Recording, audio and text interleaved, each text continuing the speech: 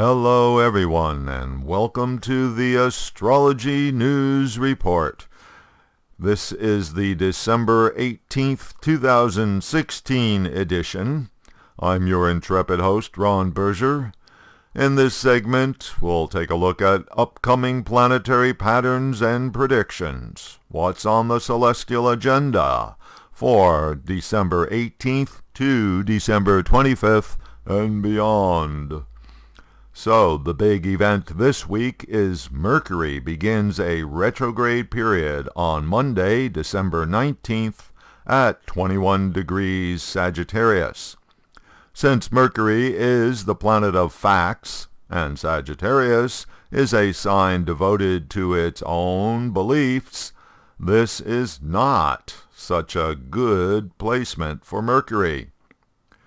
While in this sign, Mercury's objective information is forced to serve at the mercy of the subjective truth of Sagittarius. Another way of putting this is everyone feels entitled to their own facts. So, more fake news on the way.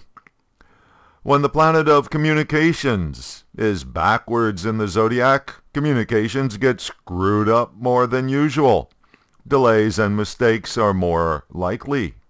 People seem more irrational. In other words, the usual Mercury retrograde precautions will apply maybe more so this time, since one of the traits of the sign Sagittarius is to obstinately refuse to admit to a mistake.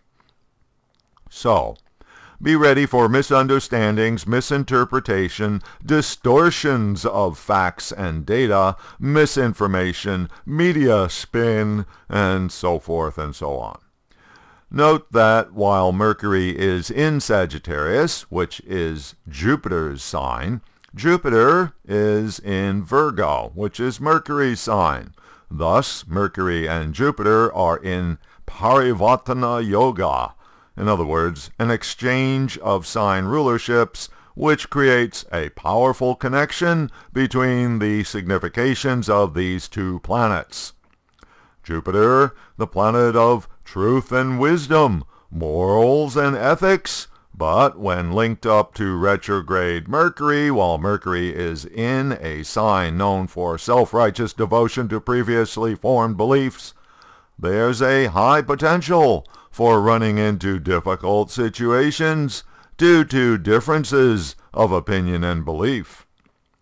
Regarding Jupiter, there's another thing happening.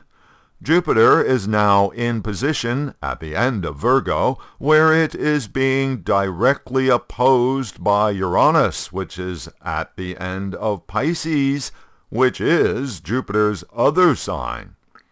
Uranus is itself just coming to the end of its retrograde period, meaning the planet is stationary in the zodiac and therefore very powerful for effects the planet of sudden events, rebellion, independent action, disruption, and so on, opposes the planet of truth, law, justice, wisdom, prosperity, banks and bonds. Generally, this is not a good situation for Jupiter and its significations, which will be subject to disruption over the coming weeks. On the other hand, the rebels signified by Uranus, will be encouraged by the influence of Jupiter. So, between Mercury being retrograde and Uranus opposing Jupiter, we can expect a high potential for unusual events as well as problems distinguishing fact from fiction. Mercury will remain in its retrograde phase for the usual three weeks duration until January 7th, when it then returns to normal forward motion in the heavens. Now I'm going to go through the zodiac and give a brief analysis for each of the sidereal rising signs. For Aries rising charts, retrograde Mercury will be affecting the ninth house, the house of beliefs, philosophies, and religion. So for Aries, the planet of communications, already in relationship with the planet of beliefs, gets an even more pronounced by being in the house of morals, ethics, and beliefs. With Mercury retrograde, your explanations and opinions won't make sense to anyone and will likely arouse others' ire. Since this sector of the chart connects to your father and guru, those relationships are especially likely to experience problems at this time due to conflicts in beliefs. Since Mercury is the planet of travel, being retrograde in the house of long-distance journeys is an especially negative indication for taking a trip. Taurus rising people will have Mercury retrograde in their eighth house, where it will affect financial involvements with others. A misunderstanding concerning joint finances with your partner arises due to a difference of opinion or a misrepresentation of the facts of the matter. The eighth house is connected to contracts, and since Mercury is the planet of signatures, signing any contract at this time is not recommended. Mercury is the planet of rational mind, and therefore the planet of making choices. The eighth house is the house of secret actions. So be careful that you don't choose to do something in secret that then produces an unintended result leading to another downside of the eighth house, scandal and humiliation. For Gemini rising charts, Sagittarius is your seventh house sign, putting Mercury retrograde in your house of partnership and marriage. Retrograde Mercury signifying miscommunication in this sector of your chart means that you are headed for difficulty with your significant other. Retrograde Mercury guarantees there will be misunderstanding, which will likely have its roots in the self-righteousness that Sagittarius is prone to.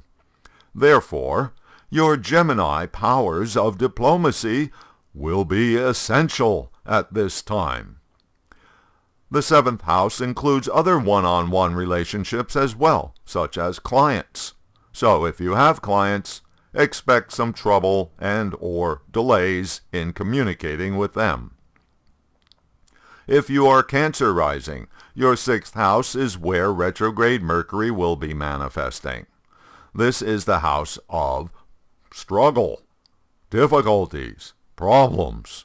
So having a difficult transit combination in this part of the chart is highly problematic. Mercury in Sagittarius has preconceived opinions, which leads to misinterpreting the problem, which then leads to making mistakes. The sixth house is also your job, which becomes a venue for equipment breakdowns and misunderstandings with coworkers and or underlings. The other signification of the sixth house, your personal health, can also suffer. Mercury is the planet of making decisions, so beware of an incorrect diagnosis or a misconception of what the doctor recommended. For Leo rising people, Mercury will be retrograde in your fifth house. The people of the fifth house, your lover and or your child, become a source of misunderstanding and frustration. The other significations of the fifth house won't fare so well either. For instance, this would not be a good time for making a speculative investment. A creative project begun now will run into all sorts of problems since the birth chart of the project will forever contain a retrograde Mercury. The fifth house is teachers and teachings, and since Mercury is the planet of study and learning, this would not be the best time to be trying to learn something. Mercury will be retrograde in the fourth house for Virgo rising charts. Since the fourth house is actions in the home, domestic life becomes the venue for the backwards Mercury energy pattern. Mercury is usually okay in this part of the chart.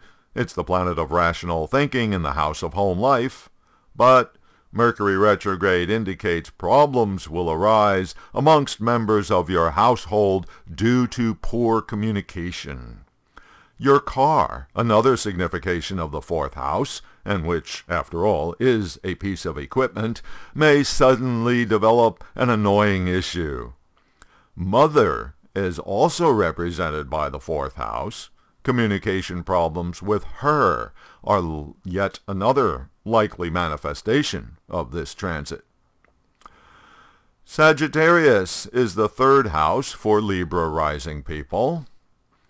Mercury has a particular affinity for this part of the chart since Mercury and the third house signify everyday activities, as well as the use of skills and talents.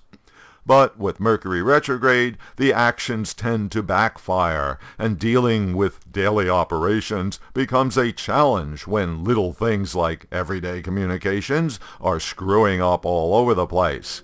Equipment malfunction is another manifestation of Mercury retrograde periods, which will likewise affect your daily operations. Communications with the third house people in other words, siblings and neighbors, are also subject to communication problems during these weeks. For Scorpio people, Mercury will be retrograde in the second house, the house of speech. This is obviously not a good thing. Mercury in Sagittarius is already predisposed to having opinions, and with the planet of speech retrograde, these opinions somehow don't get expressed right, resulting in frustrating misinterpretations. The second house is also the nuclear family, which becomes a likely area for the problems to show up. Not a good thing for the holiday parties and family get-togethers if you are Scorpio rising. Since the second house is personal finances and Mercury is the planet of business transactions, you have to be especially careful of making mistakes with your money.